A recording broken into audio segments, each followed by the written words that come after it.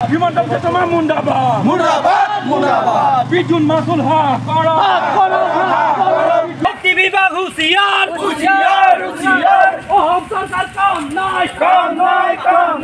Smart মিটাৰৰ বিৰুদ্ধে আৰু অত্যাধিক বিদ্যুৎ মাচুল বৃদ্ধিৰ বিৰুদ্ধে বৰ্তমান সময়ত সমগ্ৰ ৰাজ্যতে প্ৰতিবাদৰ সৃষ্টি হৈছে আৰু বৰ্তমান সময়তো মাজুলীৰ বিভিন্ন প্ৰান্তত দল সংগঠনকে ধৰি বিভিন্ন লোক ওলাই মিটাৰৰ বিৰুদ্ধে আৰু মই দেখুৱাইছোঁ গড়মূৰৰ আহ, পৰিৱেশ গড়মূৰত আহ, ৰাইজৰ দল আম আদমি অসম জাতীয় জাতীয় পৰিষদ আৰু আহ, ভুক্তভোগী ৰাইজৰ সহযোগত এনেদৰে মাজুলী জিলা বিদ্যুৎ উপসংমণ্ডল অফিচত আহ, প্ৰতিবাদ এক গণবিক্ষোভ কাৰ্যসূচীৰে তেওঁলোকে প্ৰতিবাদ সাব্যস্ত কৰিছে আৰু পৰিৱেশ দেখুৱাইছোঁ।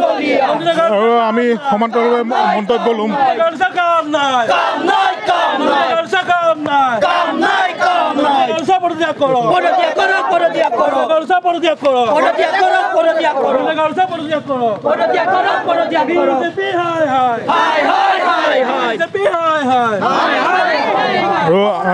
এনেদৰে প্ৰতিবাদ সাব্যস্ত কৰিছে।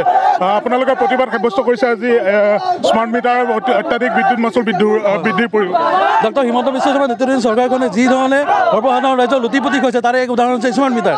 তেওঁলোকে স্মাৰ্ট মিটাৰৰ নামত যেনেধৰণে অসমৰ ৰাইজক জ্বলা কলা খুৱাইছে তেওঁলোকে যিকোনো বস্তুৰ ওপৰত এতিয়া টেক্সৰ ওপৰত টেক্স।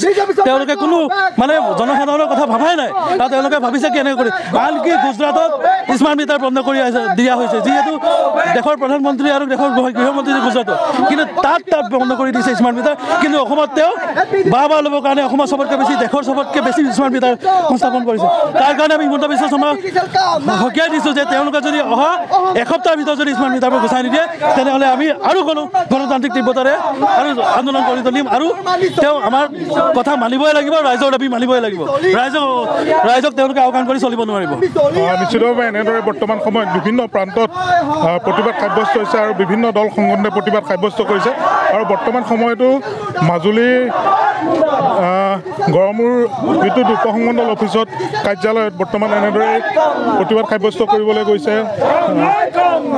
আম আদমি পাৰ্টি অসম জাতীয় পৰিষদ আৰু ৰাইজৰ দলৰ কৰ্মকৰ্তাৰ লগতে ভুক্তভোগী ৰাইজ। আৰু এই প্ৰতিবাদৰ জৰিয়তে চৰকাৰলৈ আহ্বান জনাইছে যাতে পুৰণা মিটাৰ বাহাল ৰাখে স্মাৰ্ট মিটাৰৰ দৰে অত্যাধিক বিদ্যুৎ মাচুল হ্ৰাস কৰিব কৰিবৰ বাবে চৰকাৰৰ প্ৰতি আহ্বান জনাইছে।